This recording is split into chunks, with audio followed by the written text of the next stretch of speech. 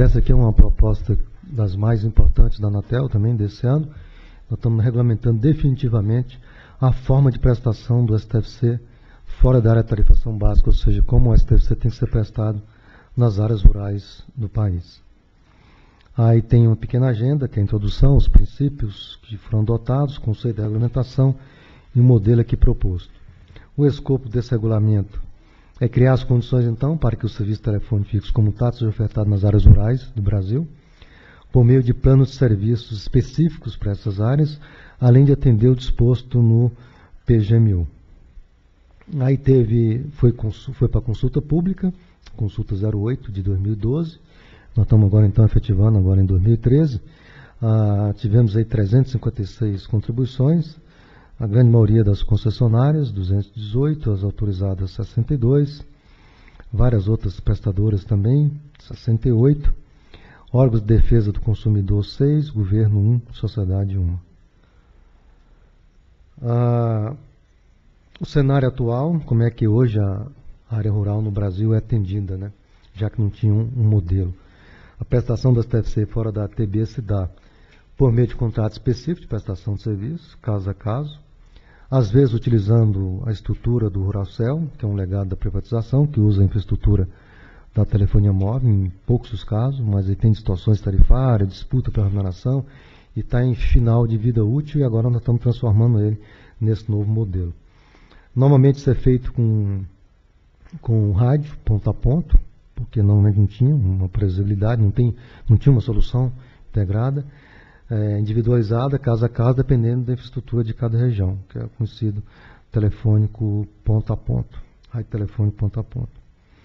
A nova proposta, no, com o novo objetivo, é criar então uma oferta estruturada do serviço, assim como ela é prestada nas áreas tarifação básica na TB, como é que eles deveriam ser prestados nas áreas rurais. Possibilitar então a oferta de um plano de plano de serviço para toda a área rural, fora de, dessa ATB, e buscar a similaridade com o já observado nas áreas urbanas, eu acabei de dizer, com estabelecido nos prazos de atendimento, de modo a dar continuidade no correto controle da estrutura de preços e tarifas. Estabelecer as condições diferenciadas para que isso fosse possível, fora da TB. Aí tá, também está se propondo aqui, nós vamos demonstrar que ah, condições diferenciadas são essas para viabilizar do ponto de vista econômico a prestação de serviço fora da área de tarifa básica. Os princípios foi o cumprimento da ação 5.4 do Plano Geral ah, de Atualização da Regulamentação, que já previa o atendimento de áreas rurais de fronteira fora da ATB. Cumprimento disposto no próprio PGMU quanto às metas de acesso individuais nas áreas rurais, aproveitar a estrutura regulatória existente hoje para o próprio STFC, viabilizar o atendimento em bases comerciais, que sejam economicamente sustentáveis, das áreas rurais com foco na oferta de caráter domiciliar. E a adoção das tecnologias mais apropriadas para o atendimento dos diferentes perfis de domicílio situados fora da ATB, ou seja, em função da distância e da renda. Aqueles que estão mais próximos, com certeza vai ter alternativas com sistemas wireless e os outros, ah, vai ser wireless, mas com certeza além de um determinado distância da, da ATB para os sistemas via satélite. Mas para todos eles foi previsto então uma solução econômica razoável. Aí tem uma, uns conceitos básicos de localidade, que todos conhecem, que são é os domicílios permanentes, adjacentes, são 50 metros entre si. Define essa definição, vem do artigo 4 inciso 14 do PGMU. Aí o que é a área tarifa básica, que é o conjunto de localidades de uma mesma área local, atendidas com acesso individual do STFC, na modalidade local. E considera-se incluídos na ATB os imóveis que não guardam adjacência, mas que estão a 500 metros dos limites dessas localidades. Nessa outra figurinha a gente deixa claro para a gente entender e o que é que está sendo proposto para cada um desses planos. O núcleo dessa grande circunferência, um tá um amarelo mais escuro ali, tem amarelo, é a ATB. E a franja ali, que é também da ATB, considerada ATB, que são os 500 metros. Além desses 500 metros, tem oferta aí, já é para atendimento da área rural, de acordo com o decreto presidencial do último PGMU, que é a oferta obrigatória do Plano de Atendimento Rural C, que está 30 quilômetros além desse limite da TB, considerando-se a franja. E a oferta do PARES, também um, um, é um outro uh, plano de atendimento, que vai além dos 30 quilômetros, aí até onde for a regulamentação. E esses dois planos são obrigatórios, tanto C quanto S, e nós vamos aqui definir quais são os prazos como é que eles são constituídos e qual foi a solução adotada. E também eles podem ofertar com um plano alternativo, esses são obrigatórios, o que está do lado esquerdo, a oferta do par F, qualquer área considerada fora da TB. Tanto a vermelha, está a 30 km, e aquelas outras que estão além dos 30 km. E a estruturação desses outros planos fica por conta da própria operadora. A oferta desses planos é muito importante, tem uma estruturazinha hierárquica para mostrar. Esses planos de atendimento oral, eles são tanto de oferta obrigatória quanto de oferta opcional. A oferta obrigatória é pela concessionária, não pela autorizada. O da concessionária, a, esses que estão a 30 km da sede, é um plano de atendimento rural complementar, por isso que vem o PAR-C. P é plano, R, o A, atendimento, o R, rural, e o C de complementar. E aí tem dois planos, o 1 e o 2. O 1 é o pré-pago e o 2 é o pós-pago. Se uma autorizada também quiser fazer, em termos de concorrência, ela poderá fazê-lo, mas desde que ela também tem planos com as estruturas semelhantes a esses planos da concessionária. Lógico que a estrutura montada por ela, os valores são encaminhados à Anatel, mas a, a, responsabilidade pela estruturação e definição dos valores da, da operadora autorizada. E também, além dos 30 quilômetros, também tem um plano de atendimento rural suplementar, que também é obrigatório, e é só a concessionária que tem que defini-lo. Normalmente, além dos 30 quilômetros, como eu disse, usam tecnologias de satélite para fazer esse atendimento. E também existe a oferta opcional, que é aquele que nós chamamos de F. Aí pode ser tanto pelas concessionárias como pelas autorizadas, assim o desejários, diferentemente do que a, a, que nós estamos adotando na estrutura desses planos, que é o, o PARC ou PARS, tanto para a concessionária como para a autorizada, que são obrigatórios para a concessionária cada autorizada não. E esse aí pode ser da concessionária autorizada, que é chamado de plano de atendimento rural facultativo, ou, como é conhecido na ATB, dentro da ATB, os alternativos, tanto dentro dos 30 km como além dos 30 km. Ah, clicando então aí nessa mãozinha, nós vamos é, explicar e detalhar aqui a cada um desses planos. O primeiro é o plano de oferta obrigatória pela concessionária do STFC, estão nos anexos 1 e 2 da proposta de, deste regulamento. O primeiro é o PAR 001, esse é na modalidade pré-paga. Eles têm créditos aqui, foi sugerido pela área técnica, que a gente pode debater esses, o valor e o prazo de validade. Eles sugeriram manter o mesmo que está hoje no regulamento do SMP, créditos de R$ reais, válido por 90 dias, e outros créditos, né, valores razoáveis com prazo igual a 180 dias e outros valores com prazos livres fixados pela operadora. Mas tem que ter, então, um mínimo de 15 com 90 dias, como é o do SMP, ou outros valores com valor razoável também para um de 180 dias. Ah, como não, não houve assim nenhuma discussão mais detalhada se deve ser 90 dias ou um pouco maior, ah, acho que a gente pode debater essa questão aqui no Conselho. Eu acatei trouxe aqui a proposta da área técnica, porque estavam sugerindo manter como está no do SMP.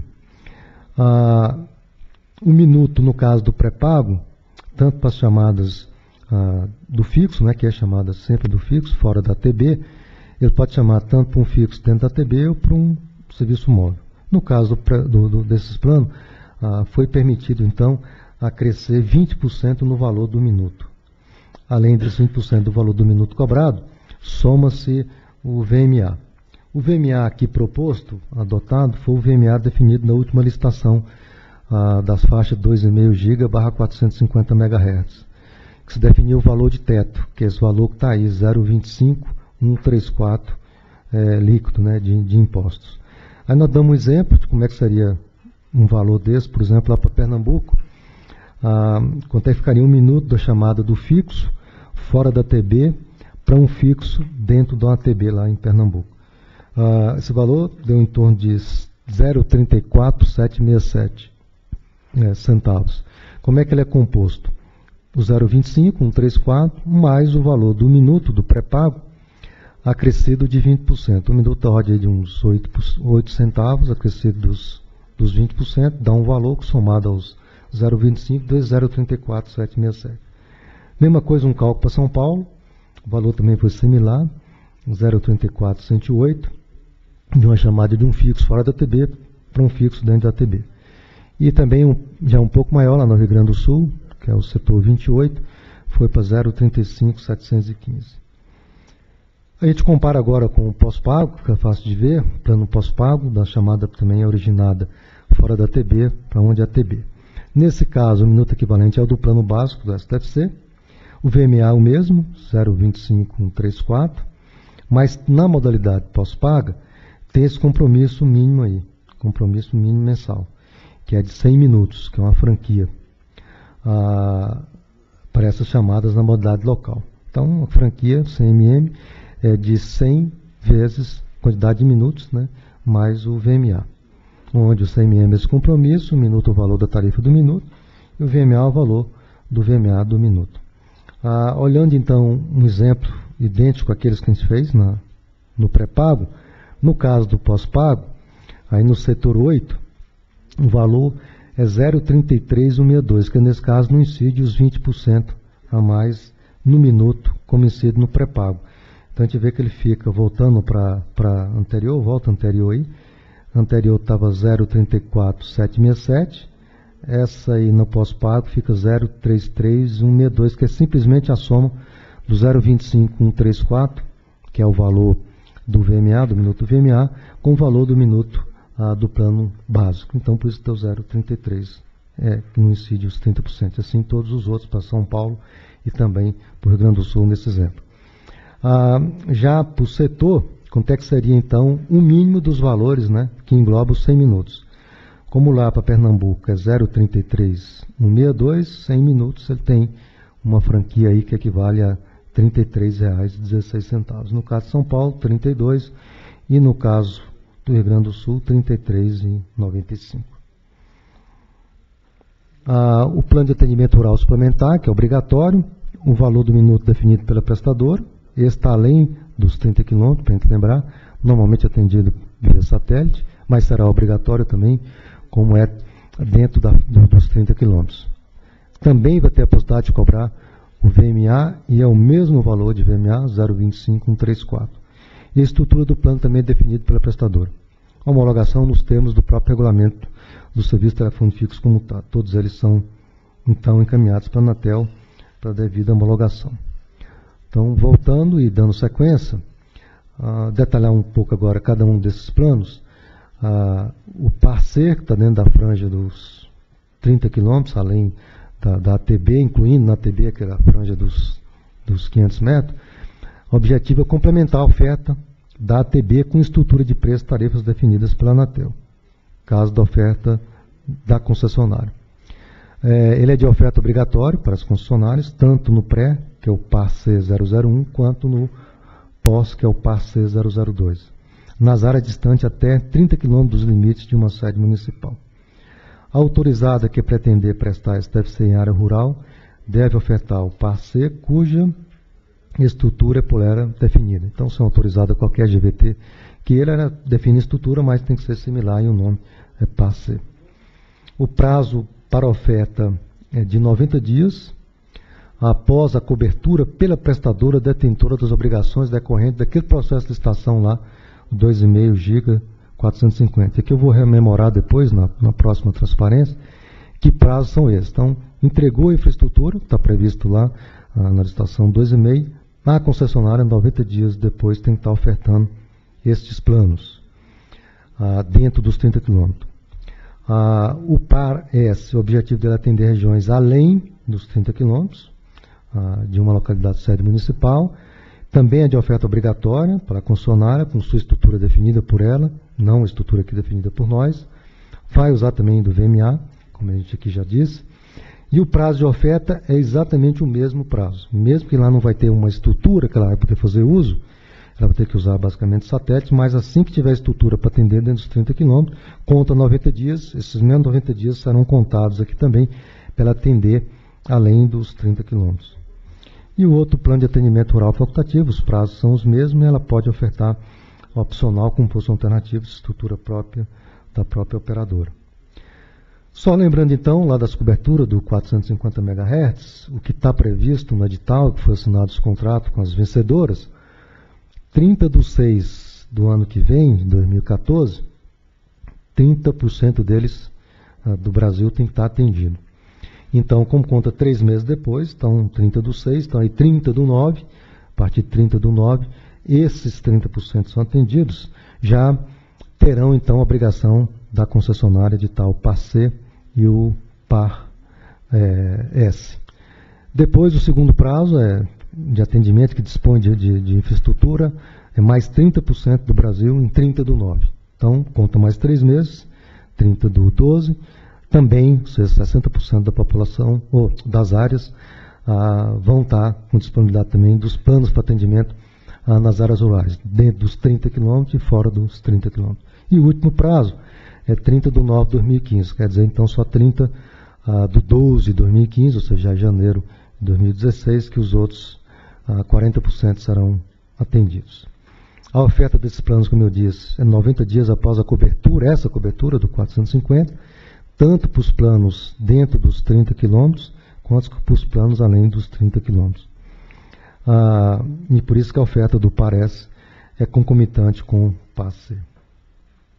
Aqui uma, uma amostra de como é que o Brasil vai ser atendido ah, nesse período. Essa mancha verde aí mostra exatamente em todos os locais do Brasil que nós vamos ter atendimento rural, praticamente 100% do país ah, de cobertura ah, para esse tipo de atendimento. Então, o compromisso em função da sessão de capacidade de rede para o cumprimento do PGMU. Ah, nesses locais todos, ah, que estão admitidos dentro dos 30 quilômetros ah, de cobertura, praticamente aí, os 15 estados têm uma cobertura mínima de 80% do seu território. E os outros que estão tudo em branquinho ali vão ser atendidos por aquele par S, que é via satélite. Mas dentro desse par ah, tá aí de verde é o C, que é a borda dos 30 quilômetros além da, da ATB. Então você pode ver que é, tem estados aí que só com o par C cobre 100% do estado, sem necessidade do parece, como está lá Paraíba, Alagoas, é, Rio Grande do Norte quase 100%, 99,9%, Sergipe 96,67%, São Paulo lá com 99,45%, ou seja, quase o estado de São Paulo tudo vai ser atendido só com o sem necessidade do par S. Aqui a forma da modalidades né, de instalação, usuário, aquisição, instalação manutenção do terminal da rede interna, responsabilidade do, do, do interessado. A prestadora mais deve ofertar e deve prestar esse serviço na rede interna, cedendo equipamento, comodato e utilizar parcerias com terceiros. A estrutura na casa do usuário, como está aí, normalmente vai ser uma torrezinha pequena, talvez, depende do caso, de até 10 metros ou não, com a antenazinha direcionada para a infraestrutura lá daquele meio adicional, no caso do parceiro, né, que está dentro dos 30 quilômetros, usando a infraestrutura ah, que a operadora que venceu a licitação do 2,5 com seu 450 MHz. Em modalidade do STFC, que vão ser prestados aí, ah, eles também têm no STFC a possibilidade da mobilidade restrita. Em função disso, todas as chamadas realizadas entre acessos vinculados aos planos de atendimento rural instalados dentro de uma mesma área de numeração, os valores serão locais. Ah, isso teve muita discussão, mas por que foi mantido isso? Como uma cobertura, uma cobertura ah, de uma estrutura ah, praticamente utilizada pelas móveis, né, ficaria muito difícil você limitar por local. Então, várias áreas aí que são muito significativas, qualquer chamada ah, originada aí ah, vão ser usadas como chamada no valor de uma chamada local. E as chamadas realizadas entre acessos vinculados ao plano de atendimento rural e destinado a um acesso na TB dentro da mesma área, também numeração são locais. Nós vamos depois exemplificar aqui, mostrando todas as possibilidades de chamada para a gente ter ideia é, do que, que, se cobra e do que, que, não se cobra. As características gerais, possibilidade é, de utilização da habilidade restrita, né, pelo próprio STFC, eu já tinha dito, é um dos motivos que está aí de incluir como local dentro da mesma área numeração. Essa, esses telefones vão ser instalados nessas áreas, eles vão ter uma numeração específica, então quem utilizar vai ter que saber que o número seu, o prefixo é diferente dos demais. Isso vai facilitar também para quem vai chamar, como não vamos ver quem vai chamar, a operadora vai ter que interceptar e avisar que está chamando por número que paga um valor diferenciado daquilo que ela paga por um número convencional dentro da TB, porque está chamando um número fora da TB. E como ele vai ter um número, ele sabe que o número dele é diferente, ele vai pagar um pouco mais caro que os demais, como a gente demonstrou. Essa numeração específica é para identificar os terminais vinculados, então, ao PAC, ao PAS e aos outros PAR, que é o Plano de Atendimento Rural. O prazo de 90 dias para instalação e mudança de endereço, que está em áreas rurais, qualquer que seja ela, né? E 96 para 96 horas para reparo. A migração dos atuais assinantes do STFC fora da TB para um plano de atendimento rural, tem, tem essa previsibilidade, é a critério dos mesmos ou conforme a determinação da agência, sem ônus para esses usuários que já têm a telefonia rural nos moldes atuais. Nós vamos poder migrar e poder ter essa vantagem desses novos planos quando assim estiver disponível a partir de junho do ano que vem, 500 primeiras, três meses depois, ou seja, a partir de setembro do ano que vem. Né? 30% da, do Brasil, das áreas rurais, vão estar podendo ser atendidos assim. Os critérios de cobrança. Para remunerar os meios adicionais, foi criado então disponibilizado para a prestação do STFC fora da TB, introduzido esse VMA, que é o valor de uso de meios adicionais por minuto. O VMA é cobrado do consumidor originador da chamada, destinado a acessos instalado fora da TB, vinculado a um par, a um plano de atendimento rural. Também é cobrado na originação de quem tem ah, esse terminal instalado, logicamente fora da, da TB. Esse valor do VMA foi definido, né, não se confunde com a mineração de rede, pelo uso de rede, e foi definido o valor máximo resultante daquele procedimento de licitação do 2,5 GB 450. E nas chamadas envolvendo TUP fora da TB, não vai incidir esse VMA, porque hoje é obrigatoriedade da empresa ter os TUPs, então não é, e já está previsto nos PGMU, não é por causa dessa mudança que esses TUPs, então, poderia vir fazer ao uso e aumentar os valores das suas ligações. Então, os TUPs continuam tudo como está como tá hoje. Aí um exemplo para a gente entender, ah, quando se origina uma chamada, então, lá na área rural, que é fora da TB, usando o par C, tanto no pré-pago 1 quanto no pós-pago 2, ofertados pela concessionária, a cobrança do minuto, então, depende desses dois fatores, o valor do VMA e o minuto do plano básico do STFC. O minuto, então, é o valor do plano básico do STFC e quando for reajustado, 12 meses depois, é reajustado pelo ST e também incide o fator X, exatamente como é feito hoje na ATB. E o VMA? O VMA é esse valor definido no edital, número 4 de 2012, com valor teto, e o reajuste dele também vai ser, quando dois meses depois, pelo IST, mas não incidirá o fator X ah, quando do reajuste do VMA. Aqui o contrário, as chamadas dos demais planos de serviço, de um STFC, SMP ou SME, a cobrança do minuto passa a considerar então o VMA para as chamadas destinadas a terminais que estão na área rural ou fora da TB. Cobrança, o minuto é normal, de acordo com o plano que ela tem hoje, e vai crescer além desse minuto o valor aí do VMA. E tem que ter então uma informação, como eu disse, a interceptação de todas as chamadas, para indicar chamada a chamada, que ele está chamando por um número especial, que ele já sabe de cara também que o número especial tem um prefixo diferenciado, e que está usando então esse código específico da TB, vai pagar um valor a mais que aquele VMA que ali está. Aqui é um exemplo, ah, aí imagina um usuário ah, que está fora ah, da TB, né? Ele vai fazer uma chamada do fixo, que ele é fixo, né? Está fora da TB, para um fixo dentro da TB. Mas é um fixo dentro da TB de uma mesma área de numeração. Então, a área de numeração tem várias áreas locais. Então, ele está vinculado a uma área local, chamada área local 1, mas ele está chamando um fixo que está lá na área local 2, na mesma área de uh, numeração. Então, nesse caso, o que, é que ele vai pagar?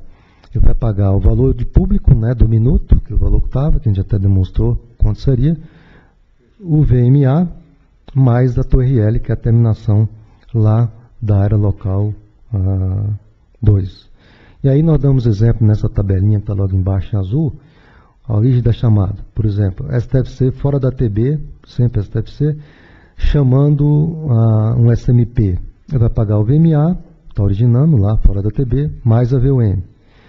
Se ele chamar uh, um STFC fora da TB, ou seja, é um, é, um, é um fora da TB, STFC, chamando outro STFC fora da TB. Nesse caso, além da TRL, as duas VMA, de uma ponta e da outra ponta. No caso do STFC que está na TB, que vai chamar um STFC na TB, não muda nada, continua como está hoje, paga, remunera o teu RL e paga normalmente o valor do minuto. E quando ele tem, chama um móvel, como é hoje também, paga só a VUM. Então, é o VC1, né? Ah, que logicamente está embutido lá, no caso do móvel, o EMA. Quando é só fixo, fixo, a TOR TUL o valor do minuto ah, que ele paga. E quando ele chama um STFC fora da ATB, que é um STFC dentro da ATB, todo mundo dentro de uma ATB, quando chamar a área rural, além da TURL, vai ter que remunerar. Não é remuneração, vai ter que pagar esse VMA em um minuto. O SMP é tudo igual também. O SMP, quando chama um móvel, o móvel chama um fixo hoje dentro da ATB, paga só o valor do minuto e a TURL e que é a remuneração da rede fixa. O SMP, quando chama outro SMP, então paga VUM. Como esses valores TRL e VUM vão ser naquela apresentação que eu acabei de fazer daquele ajuste na, no regulamento de alocação, é, separação alocação é, de contas, nós vamos ter valores agora, a partir de outubro, tanto para a TRL quanto para a e esses valores devem é, ser valores bastante diferentes dos valores atuais. Então, é uma grande vantagem também, já que as áreas rurais, quando entrarem, já vão entrar pagando os valores muito menores de VUM, TURL. Quando você chama então do SMP para um STFC que está fora da, da TB, você vai pagar além do normal, do minuto, tem que estar incluído lá também, como sempre teve a TRL, que é daquela área local que vai levar para o STFC que está na área rural, e aí para levar para o rural paga o VMA também. O caso embaixo contém uma chamada longa distância, do fixo fora da TB, por fixo também fora da TB. Aí são diferentes áreas de numeração. Como tem diferentes áreas de numeração, você paga um pouquinho mais. Mas lá em cima, como a gente viu, muitas daquelas chamadas ali eram tudo chamadas é, de longa distância, passaram a ser tudo chamadas locais. Então, o modelo também privilegia aqueles que estão nas áreas rurais que pertencem à mesma área de numeração. Até porque nós estamos estudando a Anatel expandir o tamanho das áreas locais do STFC para se coincidir também com as áreas ah, consideradas locais hoje no módulo também, que equivale a uma área de numeração. Aqui, voltando então para o exemplo de baixo, a chamada longa distância, de um fixo ah, fora da TB, ah, para um outro fixo fora da TB. Por isso que os dois estão de azulzinho. Ele vai pagar o valor de PUP normal do minuto, paga o VMA, a empresa de longa distância tem que remunerar aquela área local daquela área de registro com a TRL, tem que remunerar outra área local também com a, a, com a TRL, e também nesse caso, para que a, a, outra operadora leve até o outro usuário 2 lá, paga também um VMA. Então, nesse caso específico, eu pago uma VMA, uh, ah, duas VMA mais duas TRL. Na tabelinha que está lá embaixo, não vou detalhar mais essa tabela, mas é fácil de entender, a origem lá é STFC fora da TB, o destino lá no final, STFC fora da TB, são os dois VMAs que aí aparecem, o da esquerda e o da direita, mais duas TRL que também aparecem, porque são duas áreas locais em duas áreas de registro diferentes. Por exemplo, você chamando da área 61 para a área 62, de uma área local que está aqui, Brasília, chamando, por exemplo, Goiânia. É esse exemplo do segundo, desse segundo caso aí. No primeiro caso lá, é você chamando aqui, por exemplo, Brasília para Lusiânia. Por isso que tem que é a TRL lá, uh, que seria o STFC local lá de Lusiânia, no primeiro, na primeira parte do slide. A segunda parte é uma longa distância Brasília é. E lá tem todas as modalidades, nessa tabelinha azul aí, é, de como é que seria esses valores. Como a gente já deu um exemplo lá atrás, fica fácil da gente entender os novos valores. Aqui, o que vai ter no par de modo obrigatório, que é aquele S, como é que é? Não, o par que é o, o, o C, que é o caso do pós-pago, é simples. Dentro do, dos 30 quilômetros é só o VMA mais um minuto PBS. Então, é muito simples que ele vai pagar. E também não tem aquele 20%. E no caso do par S, que está fora, além dos 30 quilômetros, ele vai ter um VMA e um minuto do satélite, que normalmente é um meio utilizado para as áreas que estão além dos 30 quilômetros de uma ATB. É isso. Relato.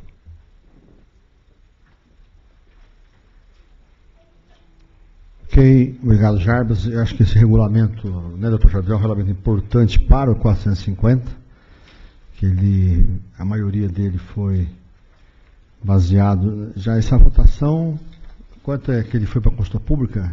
Tem a data aqui? Acho que tem. Foi em fevereiro, né? Desse ano? Isso. Ah, foi em fevereiro de 2012. Tem mais de ano. Eu só tenho uma é, dúvida. Foi antes do, do, do edital, é isso mesmo. Foi antes do edital do. do só tenho uma dúvida na página 10, que eu até te, te perguntei. Uhum. É, no modelo, no plano PAR-C 001, uhum. modalidade de pagamento pré-pago. Crédito de 15 reais, válido por 90 dias.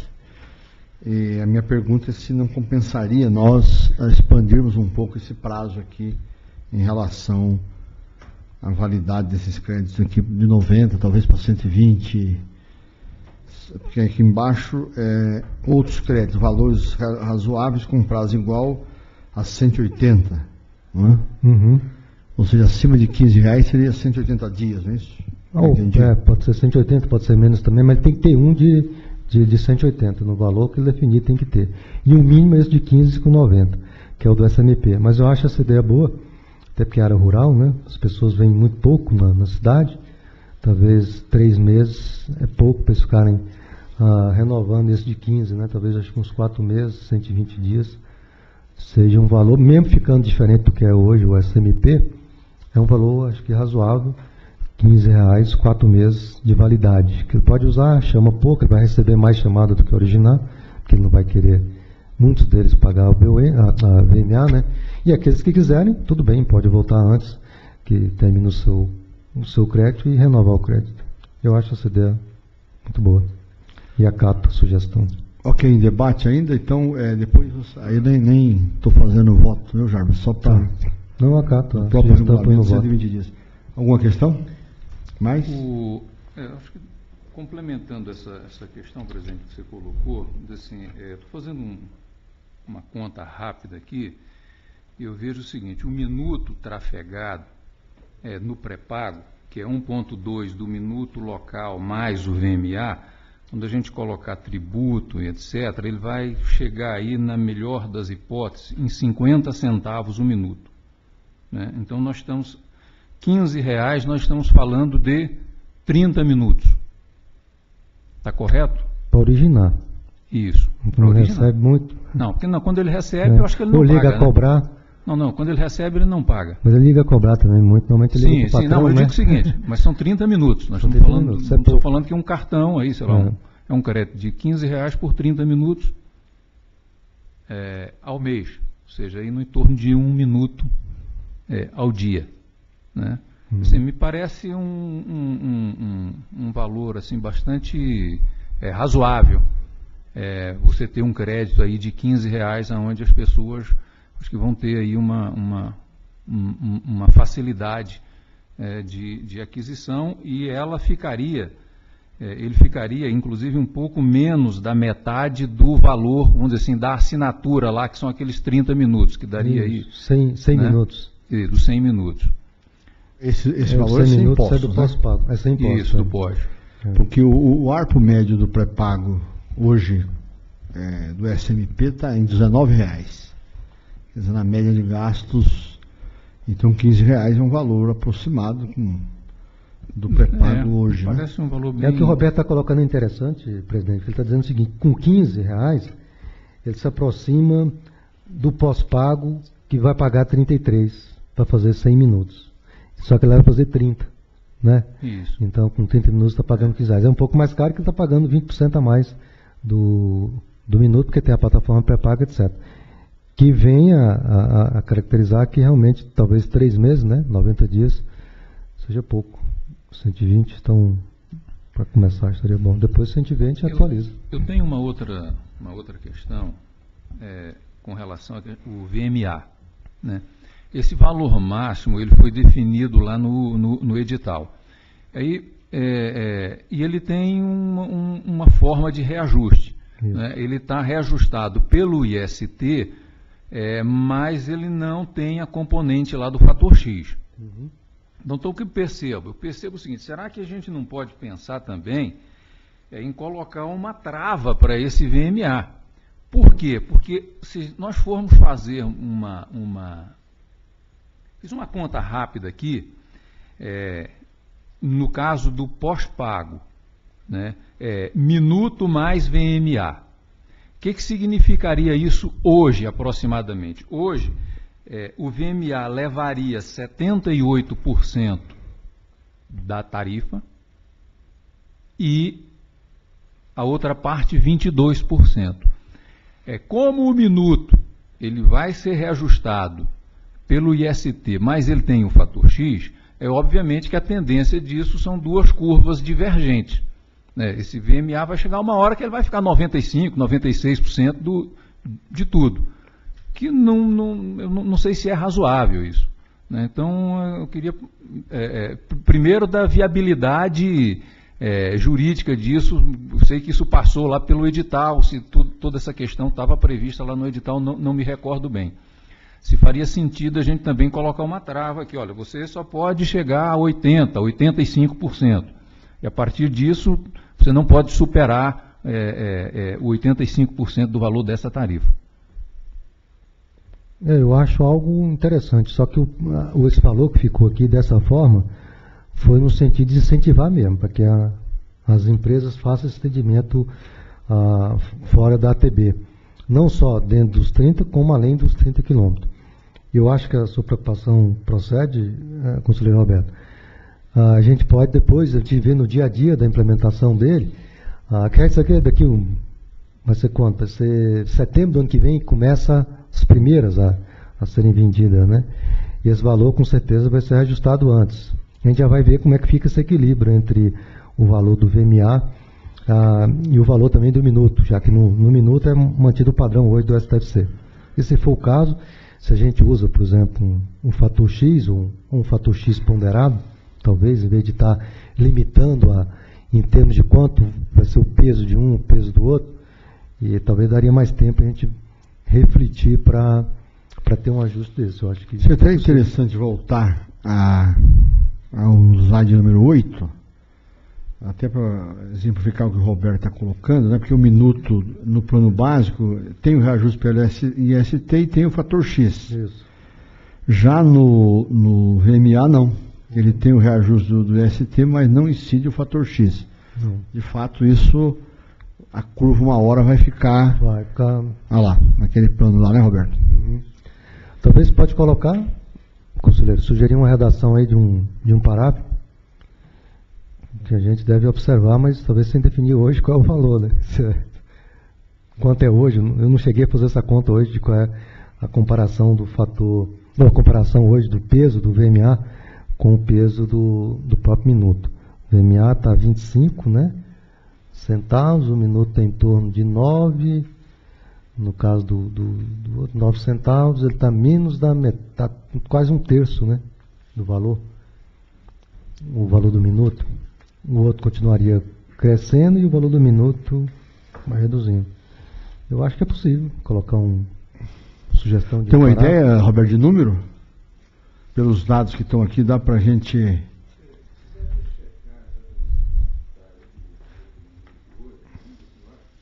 O volume minuto está aí naquela demonstração lá no final. Tá lá. Pega aquele caso lá.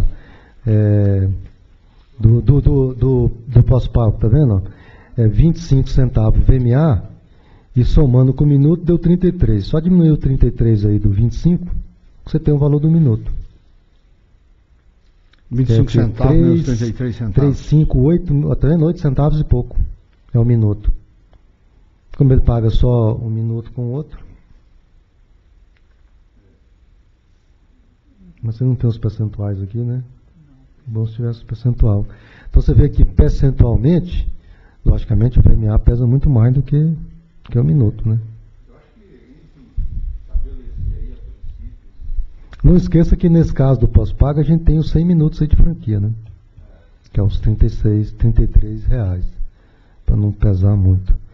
Mas aí está da ordem de 8 para 25, tinha que somar os dois e fazer um percentual do total. 8 centavos e pouco para um total de 33, divide 8 por 33, depois divide 25 por 33, a gente tem ideia aí. É 8 por 23? Ah, 8.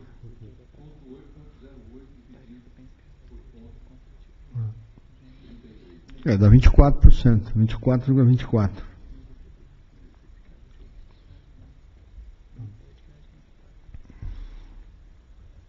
É possível, Roberto. Apesar que o VMA não é tarifa, né? Não, VMA também não é remuneração de rede.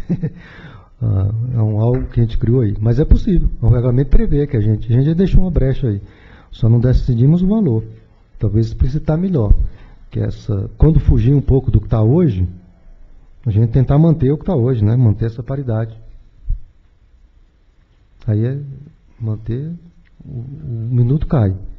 Talvez até porque nós não vamos ter tempo de fazer essas contas aqui, colocar de que é, a VAM, né? VMA. Ah, desculpa. VMA se manterá proporcional. Né? A é, normalmente, quando a gente tem um reajuste, pelo que eu me lembro, o reajuste é, no caso do, do minuto, é pequeno. Vamos supor assim, uma inflação da ordem de 5,5%. Normalmente o nosso ST dá uns 4%.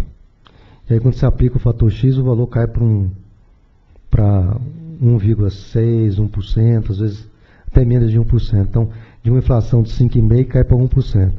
Era cair, por exemplo, do, do IST desse de 4% para 1%.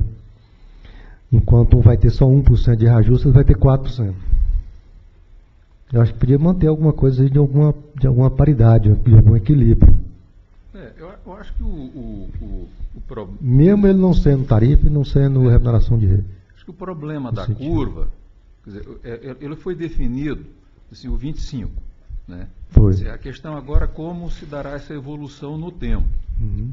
Né? Então, é inclusive de se esperar, vamos dizer assim, que fosse razoável ter um valor mais alto no início e no final valores menores, porque os investimentos se amortizam e etc, etc. É. Então, eu não vejo assim uma razão muito. Talvez botar um parágrafo como muito forte, por exemplo, para excluir o, o, o, fator X, por exemplo, do próprio reajuste. Do... Não, a exclusão é porque não é tarifa.